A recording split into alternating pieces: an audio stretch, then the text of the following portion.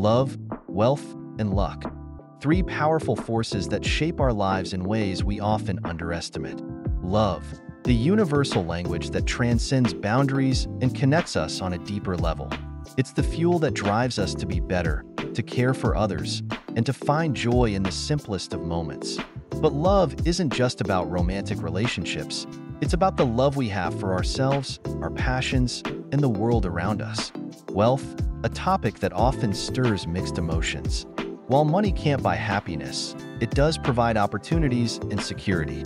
It's the tool that allows us to pursue our dreams, support our loved ones, and make a positive impact on the world. But true wealth isn't just about material possessions. It's about the richness of experiences, relationships, and personal growth. Luck, the mysterious force that seems to play a role in our lives when we least expect it.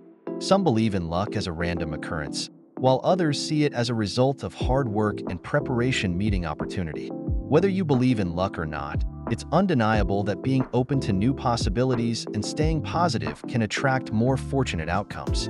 So, how do love, wealth, and luck intersect in our lives?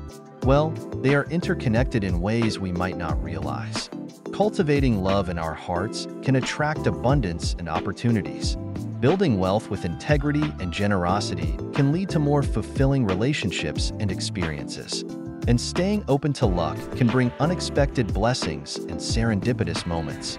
In the end, it's about finding a balance between these three forces nurturing love, managing wealth wisely, and embracing luck with gratitude. By doing so, we can create a life filled with joy, purpose, and fulfillment. Remember, love, wealth, and luck are not just external forces. They are reflections of our inner selves and the choices we make every day.